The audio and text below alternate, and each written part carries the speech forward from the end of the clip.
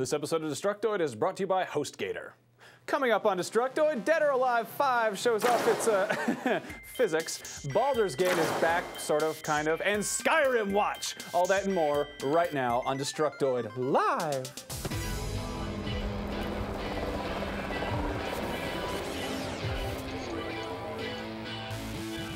Hey there, welcome to Destructoid. I'm Tara Long. And I'm Max Scoville. Do you know what day it is, Max? Just a regular old No, Friday. it's Destructoid's sixth birthday. Oh my God! Yeah. Confetti! Thanks, God. Get down from there. Uh, we've got some champagne. Yes, we some do. Champagne here. So let's pop a to bottle. celebrate. Whatever. Don't say we never do anything God, you get special some for too. you. Oh man. Oh Yeah, God. so, uh, oh, this is gonna be bad. Oh god, there's geez. lights everywhere. Okay. Uh, see. oh, there. Whoa.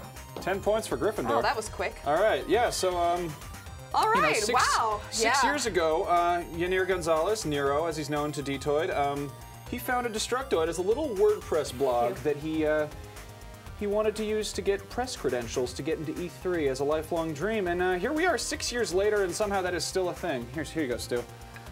This is Stu. Come out here. Say hello, Stu. He throws confetti. Nice. okay, so they don't want you to see Stu. He, he looks homeless, That's to be fine. fair. It's not Um, important anyway. but yeah, I'm just so kidding, this Stu. is I love you. this has been uh, it's been a crazy ride, I guess. I've only been here for a little bit of it, but um, It has been crazy. We've been doing this thing for a year and a half now. Yeah, Which is like it's nothing compared to nuts. Cheers. Destructoid. Cheers, everyone. um, yeah. To celebrate, there's Stu's arm. Um, to celebrate, we're actually having a, a fundraiser to send Destructoid people to Costa Rica to build houses for Habitat for Humanity, which is kind of a cool thing to do. Um, I realized we, we said some weird things about charity last episode, and I don't. Sometimes we're dumb, man. But there's no such thing as bad charity. That's a thing. That's over on Destructoid.com. Just go go do that. Go donate. I think we're actually physically sending um, Destructoid people to Yeah. to Costa Rica to physically build the houses. I've always wanted to do that actually. Yeah. That's kind of a dream. I probably won't be the one going Yeah. just because, you know, this job. But um, I'm allergic not only. to everything. Yeah, I'm allergic to heat, I guess. Um, no, I'm from Texas. That's not true. Uh, but actually, not only is it Destructoid's sixth birthday, it's also the the founder Niero's Yeah, birthday, Niero's birthday. as well. He's, he's 34. yeah, old Yep. man. 21 years old in his I heart. know. He's forever 21, like the store Like me, where they sell the, also. the girls' clothes. Um, Yep. But yeah, that's that's awesome. Cheers so to everyone. yeah, cheers to Destructoid. Changed my life in a very real way. One quick tidbit before we get into the meat of the show. I know there's been some speculation lately on whether or not we'd see a new Xbox at this year's E3. And as it turns out, we've got now 100% legitimate official confirmation that no, we will not be seeing any new hardware Damn this, this this E3. I was going to say this Xbox. Uh, Microsoft's overlord, Major Nelson, tweeted yesterday, FYI, we don't plan on discussing new hashtag Xbox hardware at hashtag E3 this year.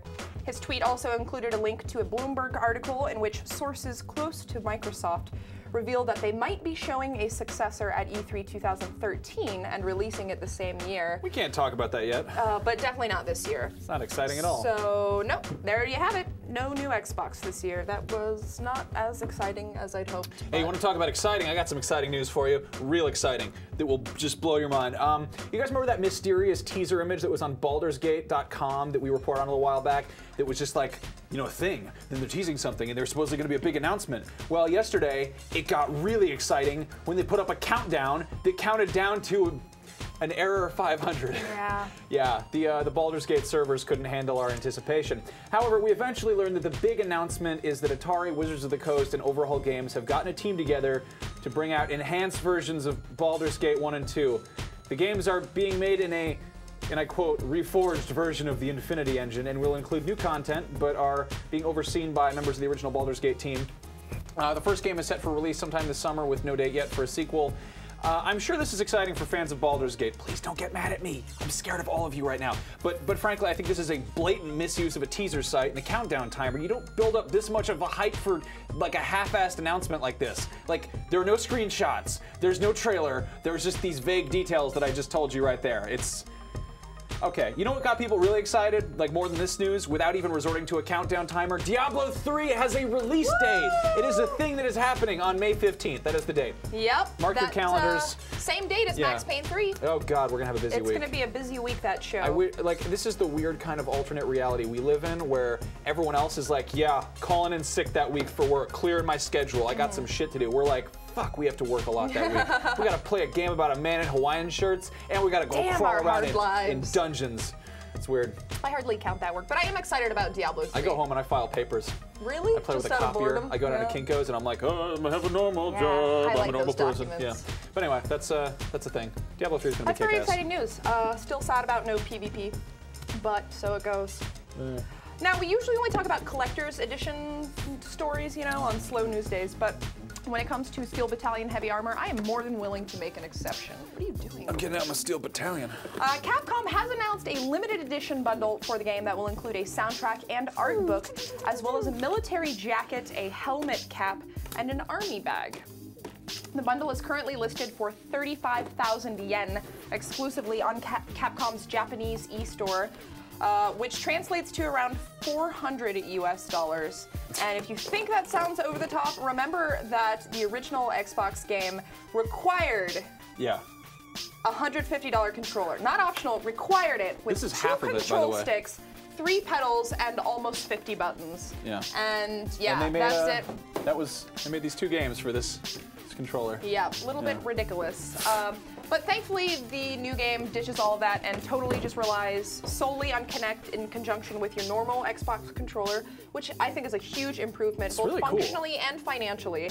And uh, um, well, I guess if you already own a Kinect, if not, then it sucks. But um, for fans willing to drop a few hundred racks, there's always the collector's edition out there. Um, Hans and I actually checked out the game at Xbox's big spring showcase last week or a couple weeks ago. We made a video about it. It's uh, it's up on this channel, God, that looks youtube.com cool. slash Detroit. Looks so cool. We both really liked it. Um, in fact, almost everybody I talked to at that showcase said that it was the best game they saw there. Carboni was like, why did they show me this? And then Star Wars Kinect. Like, what? That's not the order you show people things So in. Um, dumb. but yeah, like everybody thought it was really awesome, and I, I, I like the game. I, I won't be dropping, you know, 400 bucks on the collector's edition I- anytime soon. Uh, but if Capcom wanted to send us one, Yeah. I mean, I, then we certainly I object. am very fond of dressing dumb to I play games. hear you are quite the I like to wear. There is me There playing is uh, Astro Space Commander, or this basically that's the game you play when you have Steel Battalion, but you don't have an Xbox to hook it up to, so you have to put on a Mm-hmm. Frontierville hat and use your imagination. Lame.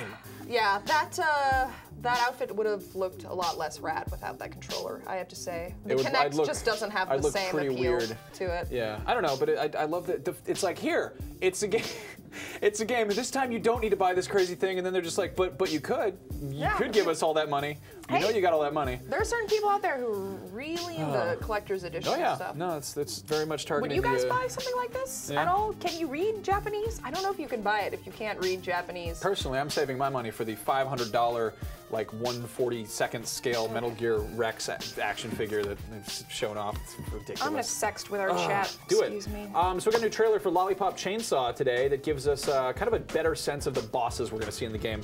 The first boss, who is uh, Zed the punk rock zombie, I got to fight him when I played it at PAX last year, and I was sort of afraid that all the bosses in the game were going to have the same Hot Topic T-shirt from 2006 kind of attitude. But this trailer sets my fears to rest. So we get, uh, in addition to Zed, we've got. Um, Vikke, who's the, the zombie Viking metal guy, and then there's uh, Josey, the funky zombie, and then of course there's uh, Mariska, who's a psychedelic hippie zombie chick. Um, yeah, I played a little bit of the uh, the Josey zombie funky disco level thing, and there were uh, there were disco balls.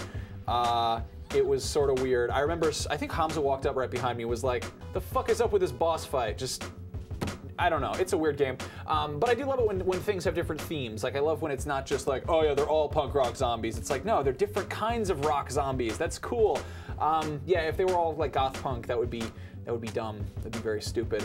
But I think we're I think we're in for more of a unique experience than we realize with this game. I'm excited about it. I know a lot of people are. And I'm excited. yeah, a lot Not of crazy long. outfits. Speaking of crazy outfits, Tara, give us an update on them boobs. Right. Yeah. So while we're showing off new trailers, here you talk to the chat. Mm-hmm. We got a new one for Dead or Alive 5. You know that game about boobs from Team Ninja. I think it's also got some fighting element. Whoa. Wow, those are boobs. All right, so let's take a look at this trailer. It shows two of the female characters in the game, Ayane and Hitomi, facing off in the construction stage, which you've actually seen in some previous trailers, uh, though it was labeled then as pre-alpha. Now you can see it's a little bit more polished. I gotta say, I'm not a huge fan of fighting games, but the whole interactive environment aspect makes this one a lot more interesting to me, and, you know, also boobs. Yeah, they're fun games, and you can also jerk off to them. So there's that, Yeah. I guess. Two for the price of I one. love that they've just given up on character design with her. They're like, yeah, um, she's got um, fingerless gloves, and Yeah. otherwise she just looks like a normal ass person. Just What I find funny is that people like revere this game for having revolutionary and realistic jiggle physics, when in reality it's not realistic at all. Like, look, her boobs are moving independently from her that is body. exactly how a bag of sand That moves. is not how it works. I'm sorry. I grew my boobs myself, okay? I know how they work. No, they have like tire swing physics. They kind of just like they sort of twist and go back and forth. And It's like those wave machines, you know? Yeah. It's strange. Um, but apart from that, the game looks pretty good. Uh, we still don't have a release date locked down yet, but word on the street is sometime this September. So if you simply cannot wait until then, uh, Tecmo Koei is actually bundling a demo of Dead or Alive 5 with next week's release of Ninja Gaiden 3, which you were going to be reviewing. Yeah, So, apparently, yeah. check that out. Gotta gotta gotta play a friggin' ninja game, whatever. But no, that's gonna be cool. I'm gonna be calling it. Uh, I'm gonna be calling it Ninja Garden Three because I think that's funny. Yeah, it was funnier the first time. You Oh yeah, to but I also said that I want to I want to just I want to make like a man cave in my house and call it my Ninja Gaiden. You know, I think that's clever. Come on, call it your Ninja Guy Gaiden. Welcome to my Ninja Gaiden. If you're gonna go there, why not just call it Gay Den? I guess that works too. Because I mean, what is a guy den but a gay den? I don't know. I'm gonna take a second to thank our sponsor before I offend any more people. Okay, good call. HostGator can get your blog or website up and running in just minutes. With plans starting at only $3.96 a month, you can get 24/7 support and access to website building tools with over 4,000 templates. They will even migrate your current site for free. HostGator servers are 130% powered by wind energy. Not to mention they offer unlimited disk space and bandwidth, a 45-day money-back guarantee, and a $100 Google AdWords credit to market your site. Revision 3 viewers are getting an even better deal. HostGator is offering you 25% off your order or your first month free. Just go to www.hostgator.com and enter the code Destructoid at checkout. All right, and we are back. Oh dear, I am getting another important transmission. I'm told that we have another Skyrim watch from Sir Max Scoville. Let's check in. Thank you, Tara. That's right, Max Scoville here, coming to you live from the deck of the Normandy, and I've got another Elder Scrolls update for Skyrim Watch. Now, obviously, we thought this stupid played out segment was done when the game came out, but we were wrong. Bethesda has just released the Skyrim Beta Update 1.5 on Steam, which fixes a number of game breaking bugs. That's always nice, but more importantly, kill cams. Now you can kill motherfuckers with magic and ranged attacks, and it looks really cool. And there are also now kill animations for melee attacks too. And when people get tired of killing people, you can you can marry Lydia. That's that's great. We like that. Anyway, this update is now live on Steam and it's coming soon to 360 and PS3. But wait, there's more. PC site Tom's Guide has unearthed a rumor that Bethesda is hard at work on an Elder Scrolls MMORPG and that a formal announcement should be expected in May. Now, according to an anonymous source, the new game will take place hundreds of years before any previous game in the franchise, and it'll allow players to join one of three factions, which are represented by a lion, a dragon, and some kind of bird of prey. Fans have been clamoring for an Elder Scrolls MMO for ages, so this shouldn't come as any surprise. As for the validity of the rumor, my friend Devin, who, who's the guy who wrote the article on Tom's Guide, said it was true, and I like Devin, so it's probably true. Journalism! Tara, back to you. Thank you, Tara. Wonderful. I actually like Devin too. Devin Connors, right? Yes, Yeah, awesome like him. guy. Yeah. He's a good guy. Good journalism. Also Max. into the Boba Fett's. But You yeah. get a sticker. I get a sticker. Do you want a For journalism. um, a Sharpei or a Basset Hound or a basket full Yo, of you got Dalmatians? any Dalmatians up in that bitch? Okay, you get the basket of Dalmatians. Basket of puppies. Yeah. There we go. Yeah. There we go. So moving on, Gearbox They're Gearbox actually is a putting vicious out. breed. What? They're actually a vicious breed. I, they, they are. I used to own a, a, a Dalmatian puppy, actually. They're horrible. Fuck 'em. We, Fuck we 'em. ended up giving it away because we couldn't take care of it. Anyway, moving on. Video games. Gearbox has been putting out some really interesting marketing campaigns for Borderlands 2 since they announced it last year, and their latest love letter to fans is just that a love letter to fans called Hello, My Future Borderlands 2 PC Player, as written by Claptrap. This is what I sound like. This is obviously intended for PC gamers or anyone who played the original Borderlands on PC and felt shafted by its lack of features, especially its shitty multiplayer matching. Well, needle- needless to say, they are a tough but important crowd to please, so Gearbox is stepping up their PC gaming department, and I can't say that I blame them. Scattered in between sweet nothings and semi pornographic sketches of cartoon robots are promises of improved native multiplayer matchmaking, completely mouse enabled menus, fully remappable key bindings, a PC specific UI, and an FOV slider, as well as a whole bunch of other features, including cloud saves, achievements, integrated VSync, and much, much more not a terrible list. Um, if you guys wanted to read the whole thing, or you can just scroll to the bottom for the actual list part, you can do that at borderlands2.com slash love letter. Very cute. I love Claptrap. I love that they're making him like the main like marketing face Yeah. of Borderlands 2. He's the mascot. They yeah. realize that people love him. And also, not to uh, humble brag or anything, but I get to play Borderlands 2 next week. This is my first time playing it. So Whatever. really I get to play Darksiders 2, I guess. Oh, you're going to that. I'm gonna go play Darksiders 2. Awesome. Um, anyway, um, we got a couple questions. Uh, let's see. Mama Dakara says, Tara, what's your most memorable moment on the Destructoid show? Oh, there's so many. Um, you know what? Probably one of my most memorable ones was the very first live show that we ever did. We got so drunk on Four Locos. I Or was not the- drunk the on Four here? Loco. Yeah, the one Oh, we did over I- there in yeah, I front of had, the Black I had Old English in a brown bag. That's the time. we were drinking. I wasn't drunk. I was just We were scared. super We were nervous. so scared. I- my hand was shaking. We like do this every like- week now. I That's know. fucking Not a crazy. big deal now, but Yeah. back then. We're so good at our jobs. Yeah. But no, it, it- seriously, it's it's fun. It's fun. We have a blast doing it. It's cool that you guys can chat with us. Um, yeah.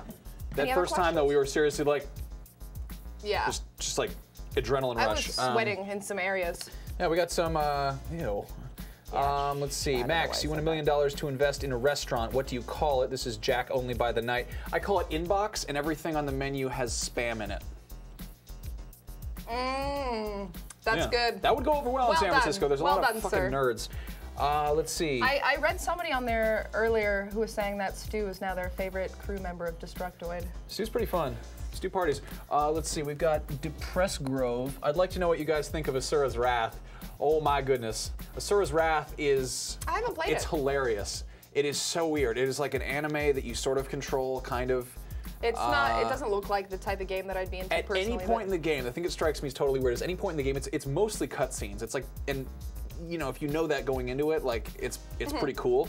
Uh, but you can you can control the uh, the anger, ang- angle of the camera. Like Mm-hmm. you can just wiggle it around. So if some guy's just like shouting at you about you killed your family and then they're screaming an explosion, you can just wiggle it back and forth the whole time.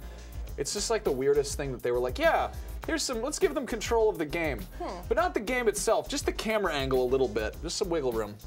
But you can control the camera in most games. Yeah, but this is just just like side to side, really, just up and down. You can zoom in a tiny That's bit. I think it's funny. But yeah, the game. I thought the art style was almost really cool. It has kind of a hand drawn look. Um, yeah, it's just fucking weird. Somebody just so asked weird. um, in the chat earlier if you had played Journey. I haven't played that yet. I'm gonna play that I this haven't weekend. played it. I played it. Have you guys seen the review that I did? I went on um, New Challenger yesterday with Anthony, and we reviewed Journey. It's so good. Oh my god, it's shut so up! good. Shut up! Shut up! Shut up! Spoilers. I'm not spoiling anything, but seriously, you have to play it if you own a PS3. Yeah, It's I'm really stoked about that. amazing. Um, I played Dragon's Dogma yesterday. How was that? I went and played that. I'm fucking stoked on this game. I really want this game. Thank you. You're welcome. Um, yeah, it's everyone's sort of like, yeah, whatever. Looks like a dragon game or whatever. Uh, and the the mechanic of climbing I think on, that's what on you enemies. said the first time you No, saw I didn't. I was like, it. I was like, cool, dragons, great, another dragon game. Um, but no, it's really, it's really cool. And the whole time I was like, Haha, Kingdoms of Amalur. And it's this game actually tries some new shit. You can climb enemies, which is like you know Shadow of the Colossus mechanic, except this time it's in a hard RPG. Uh, the other thing is the, the the NPC party system is crazy. It doesn't make it's it's like it makes sense. It's just totally out there. Um, basically you have you create your own character and then you create your main pawn who's like your your all the time npc who's with you. Mm-hmm. uh, so you create two characters which is you know good level of customization. So it's like you're playing you know two two characters So you except get a sidekick. yeah exactly. Um, and then you have two other other pawns that can be switched in and out whenever in the game because there are just pawns running around everywhere. And you can hire high level ones to help come help you or you can just get ones who are lower level than you to come help you for free. But the online component if like if you've got a friend like in real life who also has the game you can have them give you their main pawn. Like the, the pawn that they made themselves will come into your game no matter what level they are and they'll they'll help you. So like let's say I get the game, I play it for like 30 hours, you get the game and you're totally new at it. I'm like, here, um, take my pawn Lydia. my and she will go with you. And if by some chance you go to a place that I haven't been to yet, uh, she will come back, or my pawn, whoever, what- whatever, will come back with information picked up from your game. So like locations of dungeons, uh, enemy weak spots, Oh. That's kinda uh, new quests to unlock, like stuff like it's That's it's like playing. Um, it's like AI co-op, but not that dumb. It's like AI by or co-op by proxy. You know, it's Interesting. Yeah, loaning somebody your uh, your save file, but that's a. We're gonna have uh, we're gonna have some gameplay up on our Rev3 Games channel. That's YouTube.com/slash Rev3 Games. You should be subscribed already, guys. Um, and we're gonna have an interview right here on, on Dtoid. That'll that'll be going up sometime uh, soon or early next week. Um, any any questions? Let's see. Uh. Any fun sassy business? Absorb Create asks, is it worth buying a current gen console right now? Somebody asked, actually asked me that on Twitter the other day. They were like, hey, should I get an Xbox or a PS3? And I was like, knowing that there's going to be a new Xbox like within the next year or a year and a half, it's. Go for but it. the thing is, they're so cheap They're- they're- now. they're pretty you can cheap. get a four gigger for Dude, like less than 200 bucks. Yeah, I'm all about the PS3 right now because I held off on buying one for the longest time. I had an Xbox for like a mm. year before I got I got a PS3 for Christmas, and I love it. Like I love it because it's totally it's it's new to me, and of course Yeah. you know it's just it's a really clean design, and I still I mean I still have Xbox. Xbox Yeah. has Kinect, which is friggin' awesome, and I don't care what you guys say, it's the best. I Beats like the shit out of the PlayStation Move, Uh, but PS3 will be around for a little bit longer. it's a Blu-ray player. Yeah. Yeah. Ever since I got one of Also those big stupid TVs, I'm like, this looks too standard definition. I need a bigger movie. And then I get Space Jam on Blu-ray. All right. Uh, so all let's, right, uh, that's let's bring it to an end. Um, you guys, we're, we're having a contest. We're having a contest right now. We've got uh, we've got three copies of each of these games. We've got uh, Dynasty Warriors Next and uh, Ninja Gaiden Sigma Plus. These are for the PlayStation Vita.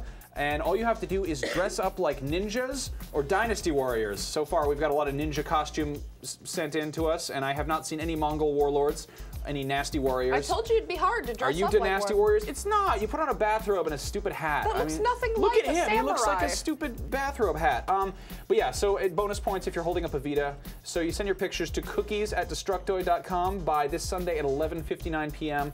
and we will announce the winners on Monday's show. Apologies to our international viewers. I know you guys are watching from all over the world and we love you, but this contest is U.S. only. I do not make the rules, and I feel like an ass every time we do Yeah, that. Yeah, we're gonna have codes real soon. We're gonna have codes. We're Probably getting codes. Friday. Working on codes. We got you. We got you. then. Netflix in the UK and Ireland. Like we hustled, man. Mm-hmm. We went down there. We're like, these British people want to see our classy American television programming. We've been watching their BBC shows for too long. It's not fair. Hey, I like BBC. I'm not making fun of the BBC. I'm making fun of our shitty TV in America. It's terrible. Right. So wrapping this thing up. If you guys are wondering why we neglected to discuss Mass Effect 3 today, it's because we intentionally neglected to discuss Mass Effect 3 That, today. that dead horse has we been beaten We made a video about it actually instead, and you can go watch that on Rev3 Games YouTube channel. The address for that is youtube.com slash Rev3Games. And it's got lots of videos that you've probably never even seen before, like some with Max and some with me and some with both of us. Some of us with like us with other dudes. It, it gets crazy in there, you guys. There's something for everybody. So watch, subscribe, and then go follow us on Twitter, because that's where Yeah. we hang out. I'm He's Max, Max Scoville, Scoville. and you're Tara Longest. I'm Tara Longest, and the show is Dtoid Show, of course. Uh, we've got our hotline on there. Haven't received any calls in a while. Maybe somebody should get on that. Yeah. Yeah, Well, that's that's it for our live show. Thank you for tuning in. We love you. It's it's happy birthday to us, and we have to pick up this confetti now. Yeah. Ew. We've got to mop the floor. Have a good weekend, guys. We'll see you back here on Monday. Don't be mean to nobody. Stu, get out of here. Get out of here, Stu.